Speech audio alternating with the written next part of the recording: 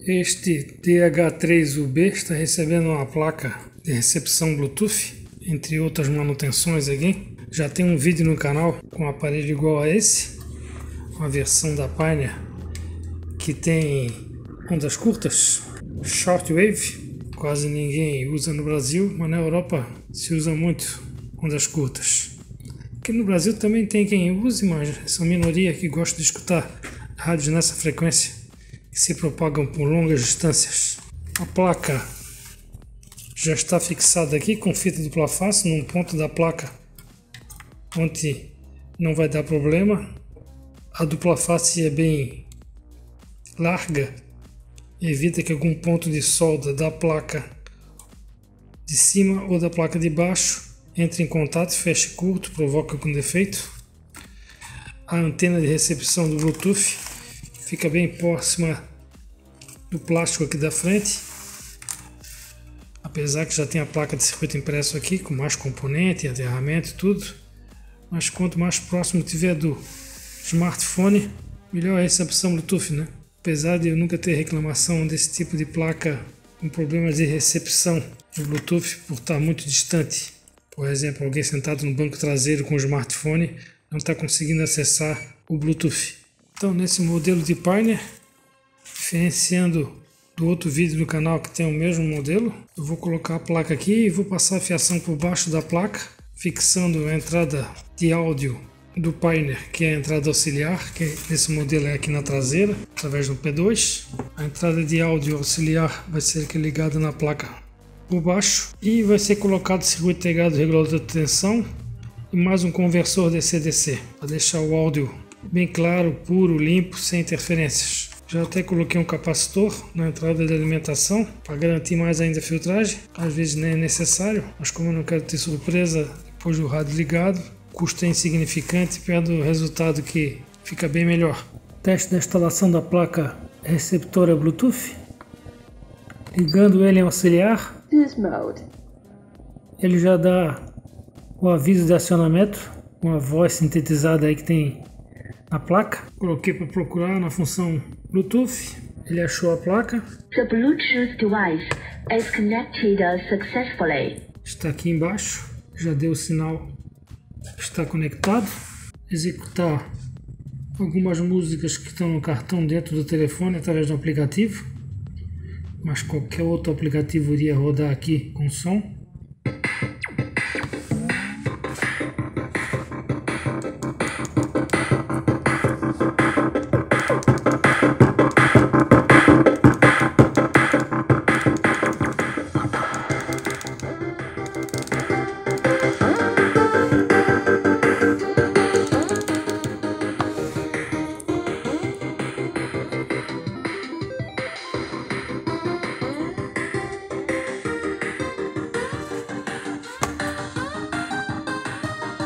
Diferença da instalação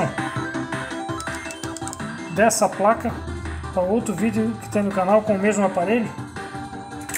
Vamos desligar a alimentação do aparelho. A mecânica do CD já está com o flat cable desconectado aqui. Aqui já dá para ver onde é que foi colada com fita dupla face 3M na placa na placa mãe do aparelho, na placa principal do aparelho, está fixada a placa do Bluetooth. Aqui ao lado está o conversor DC-DC. Essa é uma das diferenças deste vídeo para o outro que tem postado no canal de adaptação da placa Bluetooth. Aqui em seguida, fixado na lateral do aparelho, com estanho no dissipador do 7805, que é o circuito integrado regulador de tensão, ele recebe 12 volts da saída de remote, converte para 5 volts, entra no conversor DC-DC e por sua vez isola esta fonte da alimentação da placa Bluetooth de 5 volts. A entrada de som também está ligada aqui, a entrada P2. Na entrada de áudio, Vamos desmontar mais um pouco para mostrar como é que foram as ligações.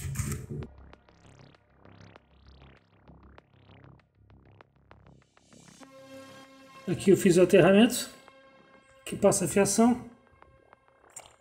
Aqui o fio amarelo vai para a saída do regulador 7805. A entrada do regulador 7805 sai por aqui, esse fio amarelo, que vai o remote. Remote esse que está escrito aqui na placa. Aqui está o, o conector que vai o fio que vai para o conector traseiro, o terminal que vai para o conector traseiro, está aqui assinalado na placa. Aqui temos também uma entrada de canal, logo em seguida o aterramento e a outra entrada de canal. São três fios aqui. O branco é um canal, o cinza é o terra e o rosa é outro canal. Na indicação aqui, na placa do aparelho, tem o L e o R, tá ali auxiliar L, no outro tá auxiliar R e no meio o GND. Então foi essa a diferença de alimentação dessa placa pela outra que foi visto aqui no canal a instalação. Por que, que eu fiz a instalação diferente nesse modelo? Para filtrar mais ainda a entrada de alimentação e também pegar de um ponto diferente, ponto de alimentação. Quando se pega os 5 volts da tomada USB para alimentar a placa, não precisa o regulador de tensão, não precisa conversor DC-DC ou isolador, mas esse USB, na maioria dos aparelhos, só quando é desconectado fio ACC para energia de 5 volts. Então a pessoa desliga o aparelho no source CRC, no que desliga o aparelho, ele entra em standby parcialmente, mas a fonte de 5 volts do USB continua. A placa do Bluetooth não desliga e o telefone do usuário continua conectado. Assim, se recebe uma chamada ou quer fazer qualquer evento no telefone que use áudio, o áudio vai tentar sair pelo Bluetooth, mas o rádio não está ligado, só a placa está ligada, atrapalha o manuseio do aparelho, atrapalha a utilização do áudio do aparelho telefônico. O usuário, proprietário, o motorista pode estar dirigindo o carro com o aparelho desligado e não sabendo que o telefone conectou automático na placa e permaneceu ligado. Pela saída de remote, a saída 12 volts que só é acionada quando liga o aparelho, quando desliga o aparelho, cessa a alimentação, desliga a placa automático e o Bluetooth desconecta. Essa é a vantagem, além de ter menos ruídos, mais, mais filtragem na entrada de alimentação. Esse é o comparativo do, deste vídeo com outro vídeo do canal. O outro vídeo está mais completo a respeito de funções do rádio, ligar e desligar, fazer controle de tonalidades, funções, etc. Esse aqui foi o básico mesmo, só mostrar como é que foi instalado. Se a pessoa quiser mais detalhes de como é feita a solda, como é colocado, tem outros vídeos no canal que o processo é o mesmo. Fazer essas soldas, castração de solda, com ferro de soldar, botar o termo retrátil, adquirir os componentes, adquirir a placa, adquirir o conversor DC-DC, tudo isso pode ser encontrado mais detalhado em outros vídeos aqui do canal. Esse vídeo aqui só foi para dar um exemplo de como eu fiz essa instalação desse tradicional aparelho da Pioneer, ainda muito procurado porque tem uma excelente qualidade de som. Existem críticas a esse, a esse aparelho por causa do tamanho do botão, mas mesmo assim é considerado um bom lançamento da Pioneer. Esse aparelho que foi fabricado em 2008.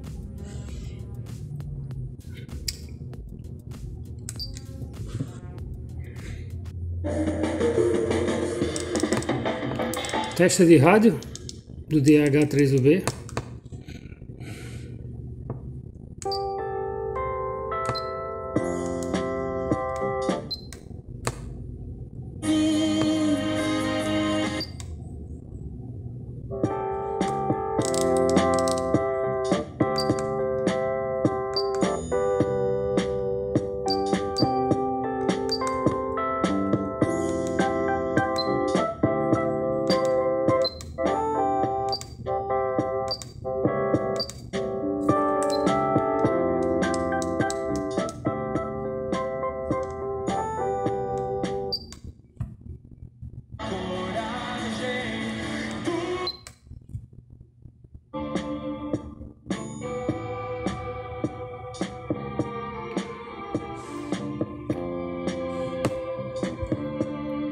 Leitor USB com pendrive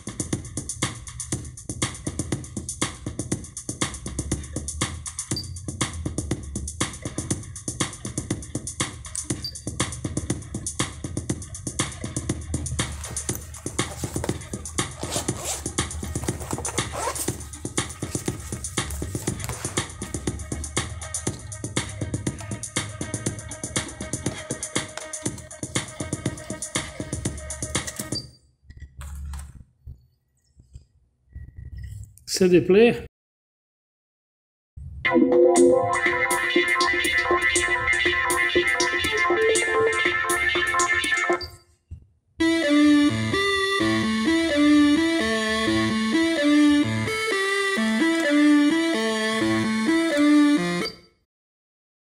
Colocando a posição auxiliar.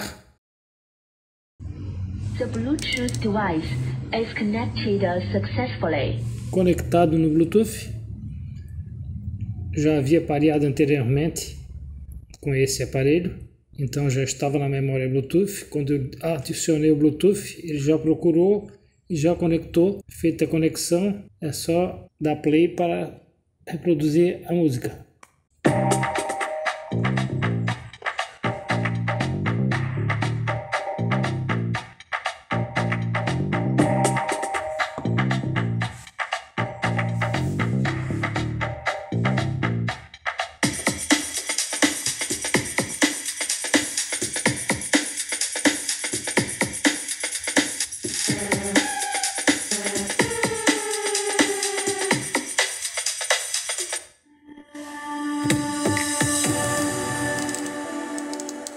Funções mais detalhadas do aparelho, na parte de equalização, busca por rádio.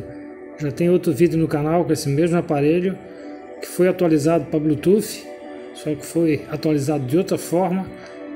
Dessa vez eu fiz uma instalação da placa com mais componentes, visando melhorar mais a qualidade de som.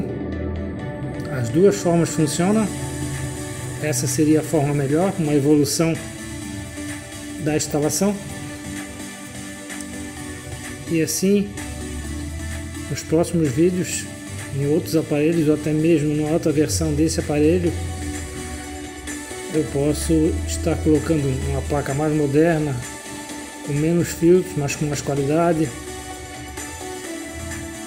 Vamos evoluindo na forma de deixar os aparelhos antigos com mais qualidade de som.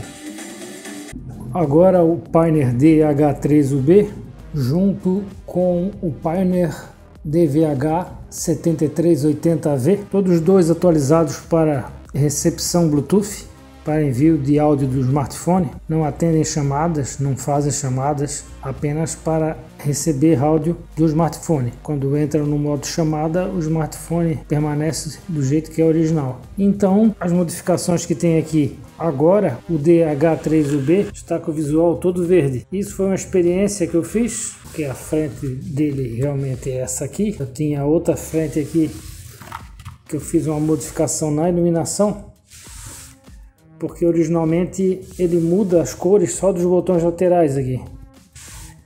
E aqui é sempre branco. Eu botei uma película verde em cima do LED branco, não ficou muito legal. Mas foi só uma experiência mesmo para ver como ficava. Talvez trocando o LED por outro alto brilho verde fique melhor talvez fique uma tonalidade diferente que não combine com os botões. Para trocar a iluminação desse aparelho tem que desligar ele, apertar o botão central por 3 segundos, ele dá entrada no menu oculto e aqui tem a função iluminação, pressiona novamente, green e red. Pode ver que no vermelho só altera as cores aqui, ali continua a cor padrão. E aqui o Pioneer DVH 7380V que foi atualizado também com a placa Bluetooth na função auxiliar. Ele já está no modo auxiliar. Colocando o smartphone no modo Bluetooth, ele detectou a placa.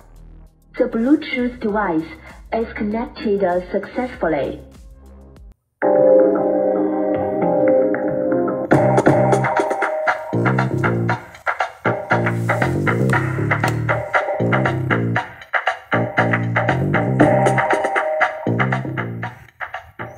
Quando coloca esse aparelho no modo auxiliar, a tela fica preta, porque ele é um auxiliar de áudio e vídeo nessa entrada frontal aqui.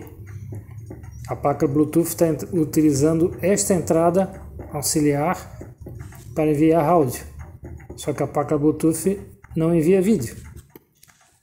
Já que a placa Bluetooth está usando essa entrada auxiliar para enviar áudio não está enviando vídeo, não vai ter imagem nenhuma na tela. Mas se a pessoa não quiser ficar com a tela escura assim, pode pressionar o botão aqui por 3 segundos e deixar esse modo de programação aqui, mesmo não fazendo programação nenhuma, ou até querendo fazer, porque aqui tem ajustes também de áudio. Dá para ligar e desligar o loud, desligar o subwoofer, ligar, entre outras funções, como ligar a câmera de ré, modificar a imagem da câmera de ré, mas o que eu queria mostrar aqui, a função de colocar a placa receptora Bluetooth, foi finalizado da seguinte forma. A princípio, eu tentei uma instalação normal, só com a placa receptora Bluetooth pegando alimentação do USB de 5 volts e entrando pela entrada auxiliar. Ainda ficou com algum ruído no áudio, então eu coloquei um regulador de tensão e o conversor DC-DC que está ali embaixo. A placa está aqui no canto. Então a finalização dessa instalação foi convencional, ficou da mesma forma que o Pioneer DH3UB, usando a placa receptora Bluetooth, mais um conversor DC-DC, mais um regulador tensão 7805 ligado pela saída remote mais 12 volts, graças ao pequeno consumo da placa receptora Bluetooth, é possível ligar na saída remote, já que a, a saída remote não tem uma amperagem alta, mas o consumo da placa Bluetooth é baixo, não dá problema, pode ser ligado ali. O 7805 trabalha baixíssimo consumo também, não esquenta, não precisa dissipador, não precisa um circuito especial para fazer ele funcionar. O conversor de CDC isola para não dar um retorno de, de ruído pelo aterramento ou coisa parecida. O áudio fica perfeito. Esse é o áudio.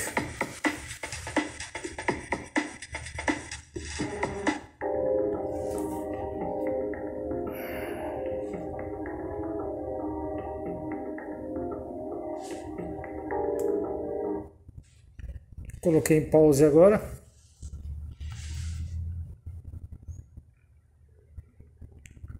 Nenhum ruído de fundo. Quando ele está no modo auxiliar de vídeo, ele não mostra o volume. Passando para a função rádio, ele já mostra aqui no canto do display o áudio. O áudio está em 39. Passei para a função auxiliar, ele ficou escuro, mas pode notar que não tem nenhum ruído de fundo. Concluída assim a atualização desses dois equipamentos, todos dois agora com Bluetooth, com uma nova forma de instalação, diferente dos vídeos anteriores que eu tenho no canal, para cada modelo, inclusive com mais demonstrações de funcionamento e, das, e também explicando as funções que tem no menu. A intenção aqui foi um vídeo mais rápido, mostrando que está sempre evoluindo esse tipo de instalação de placas dentro dos aparelhos, com a tendência de melhorar a qualidade. Em breve está recebendo placas menores, placas diferentes, vou continuar fazendo experiência. Inclusive não vou colocar mais um regulador de tensão e depois um conversor DC, DC, colocar já um conversor que converta de 12 para 5 volts direto na placa.